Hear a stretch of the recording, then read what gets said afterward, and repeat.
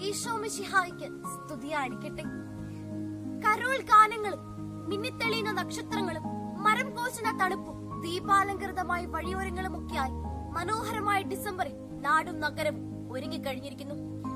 യുദ്ധവീരനായ ഒരു രാജാവ് തന്റെ സൈന്യവുമായി വന്ന് നമ്മെ മോചിപ്പിക്കും എന്ന് പ്രത്യാശിച്ചിരുന്ന ഇസ്രായേൽ ജനത്തിന് ഒരു രാജാവിൽ നിന്ന് വിഭിന്നമായി കേവലം ഒരു മനുഷ്യനായി അവതരിച്ച ദിവ്യരക്ഷകന്റെ ജന്മദിനം.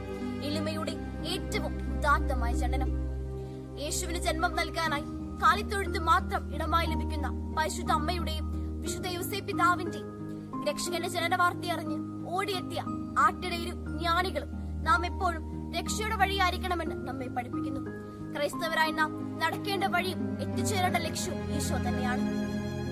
ഉണ്ണീശോ നമുക്ക് കാണിച്ചു തന്ന എളിമയുടെ സ്നേഹത്തിന്റെ വഴിയാണ് ഏതൊരു ക്രൈസ്തവന്റെ ജീവിത ശൈലി ഈ ക്രിസ്മസ് കാലത്ത് പരിശുദ്ധ മാതാവിനെ പോലെ ഇതാ കർത്താവിന്റെ ദാസി എന്ന് പറഞ്ഞ് എളിമപ്പെടാനും മറ്റുള്ളവരുടെ ആവശ്യങ്ങൾ കണ്ടറിഞ്ഞ് അവരെ സഹായിക്കുവാനും ആരോടുമില്ലാത്തവർക്ക് വേണ്ടി കുറച്ചു സമയം ചെലവഴിക്കുവാനും ഈ നൂറ്റാണ്ടിലെ വിശുദ്ധരായി മാറുവാനുമാണ് ഓരോ ക്രൈസ്തവരും ഓരോ ക്രിസ്മസ് ഓർമ്മിപ്പിക്കുന്നത്.